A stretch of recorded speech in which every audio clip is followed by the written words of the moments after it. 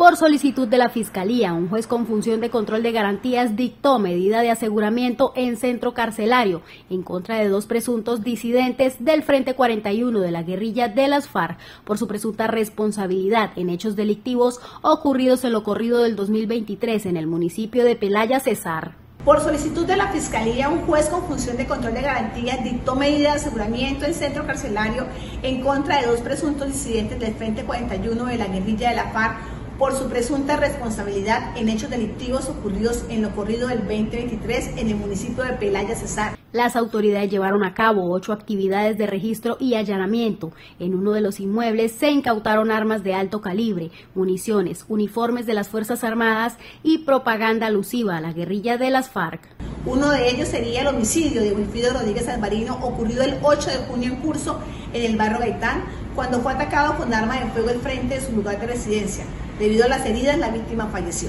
Ángel Francisco Machado Ferrer, alias Jugajiro, y Luis Alejandro Arenga Ropero fueron imputados por varios delitos, entre ellos el uso ilegal de uniformes e insignias de uso privativo de la Fuerza Armada. Durante el operativo realizado el 24 de junio por funcionarios del Cuerpo Técnico de Investigación, Policía y Ejército, se realizó la captura de Ángel Francisco Machado Ferrer, alias El Guajiro, y Luis Alejandro Arenga Ropero, quienes fueron imputados por los delitos de concierto para delinquir, homicidio agravado, porte ilegal de armas de fuego, uso ilegal de uniformes insignia de uso privativo de las Fuerzas Armadas, uso ilegal de transmisores o receptores, cada uno según sus responsabilidades individuales. La Fiscalía asegura que continúa trabajando en conjunto con las instituciones para garantizar la seguridad de los ciudadanos de la región.